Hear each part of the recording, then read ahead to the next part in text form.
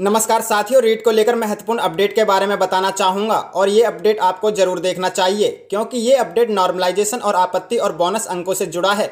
सबसे महत्वपूर्ण बात 25 अगस्त से पहले आपत्ति दर्ज करनी है। दोस्तों, वीडियो में आगे बढ़ने से पहले आप सबसे छोटा सा निवेदन है, चैनल को सब्सक्राइब करके बेलाइकन ऑन कर लीजिए। ताकि ऐसी इन्फॉर्मेटिव वीडियो आप तक पहुँचती रहे। साथियों, आपको बताना चाहूँगा, जल्दी से जल्दी आपत्ति दर्ज कर लीजिए। 25 अगस्त तक रात 12 बजे तक विभाग की ऑफिशियल वेबसाइट पर जाकर के अपने क्वेश्चंस में, जिस पर आपको डाउट है, उस पर आपत्ति ज़रूर से ज़रूर दर्ज कर ले।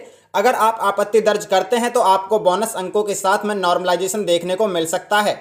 और साथ में आपको बता देना चाहता हूँ, अगर आपके पास पाँच छः नंबर कम है पात्रता से तो बताना चाहूँगा, आपत्ति दर्ज करने से आपको बोनस अंक मिल सकते हैं।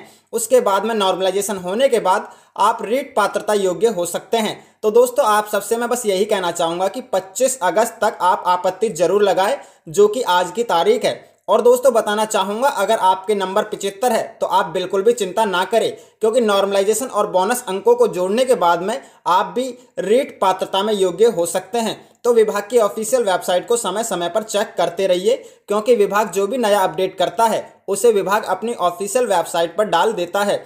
और इस वीडियो को ज़्यादा से ज़्यादा शेयर कर दीजिए लाइक कर दीजिए, और चैनल को सब्सक्राइब करके बेल आइकन ऑन कर लीजिए, ताकि आपको हर प्रकार के इन्फॉर्मेटिव वीडियोज़ पहुँचती रहे। मिलते हैं इन्फॉर्मेटिव वीडियो के साथ। जय हिंद, जय भारत।